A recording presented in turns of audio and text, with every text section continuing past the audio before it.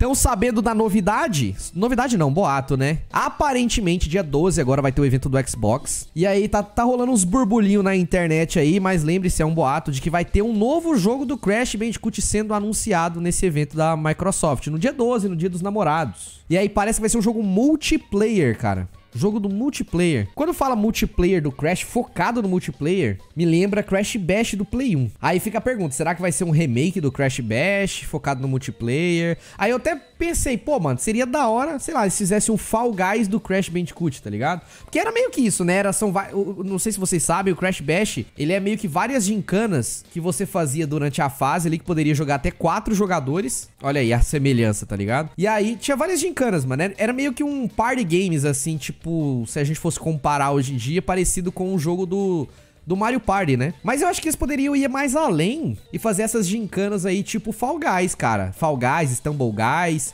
E aí já lança para celular junto com os consoles mesmo. Bota todos os personagens do Crash. Ah, mas se bem que é quatro, né? Eu acho que não vai ser jogo de passar a fase, tá ligado? Teve gente falando, ah, será que vai ser um beat'em up do Crash? O pessoal vai sair batendo? Acho que não, acho que não. Seria interessante, talvez? Não sei. Mas acho que não. Mas, ó, a notícia fala o seguinte, ó. Parece que foi, foi aconteceu num podcast, mano. Que os caras da Toys for Bob, que inclusive foi a, a última empresa que fez o Crash 4, parece que vazou, né? E ó, o marsupial mais querido do mundo pode retornar mais, mais uma vez por uma nova aventura. Segundo o jornalista Jazz Corden do Windows Central, a Microsoft pretende anunciar um jogo multiplayer do Crash no Xbox e Bethesda Showcase.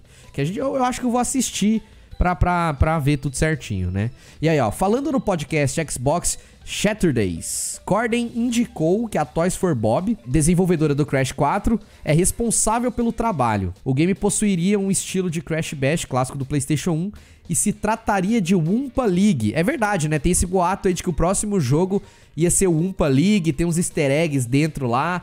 Só que a questão é o seguinte: será que esse jogo vai ser exclusivo do Xbox, cara? Que eu não sei se vocês lembram, a Microsoft comprou a Activision, né? Eu acho que não. Acho que eles não vão fazer isso agora. Porque assim, não concretizou essa venda ainda. Eles estão fazendo lá os negócios do governo lá, né? Pra concretizar. Mas eu acho que deve sair pra Play 4 também. Porque pode ser que futuramente se torne exclusivo os próximos jogos. Mas acho que esse não faz sentido, não, né? Eu acho que também seria burrice se fosse exclusivo, tá ligado? Porque boa parte do público que gosta de Crash tá no PlayStation, né? Tem um carinho, tipo assim, play, ele nasceu no PlayStation, então muita gente, inclusive, acha que Crash era mascote da Sony, ou que Crash já foi da Sony. Apesar de que foi feito pela Naughty Dog, vai uma curiosidade para vocês: o jogo nunca foi da Naughty Dog, tá ligado? A ideia era, era, era deles, né? Eles, desenvolver, eles desenvolveram, mas não ficaram para eles. Por isso que foi vendido. Porque eu acho que se não fosse feito dessa forma, o Crash nunca teria saído da PlayStation. Mas agora é da Microsoft, né? Vamos ver se vai prestar com certeza, se sair o jogo aí, vai fazer live, vídeo, tudo. Vamos ver se vai prestar. E tomara que, que tenha multiplayer local e online também. Mas o que, que vocês esperam desse jogo de Crash? Será que vai ser um remake do Crash Bash? Será que era hora mesmo deles testarem esse co-op? Pô, tem tanto jogo legal deles fazerem remake. O Twin Insanity mesmo lá, eu achei que eles iam fazer remake dele. Mas não, né? Mas comenta aí também pra nós. Beleza?